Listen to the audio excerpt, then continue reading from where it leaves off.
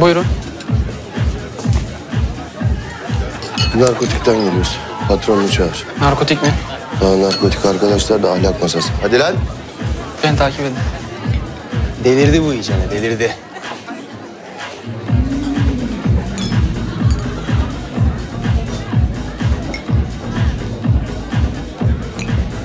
Abi fakat çok güzel kızlar var ya. Şu bıyıklıyı mı diyorsun? Abi ben şimdi askerim ya. O bıyık bende yok. Görmüyorum yani. Yürü lan, yürü.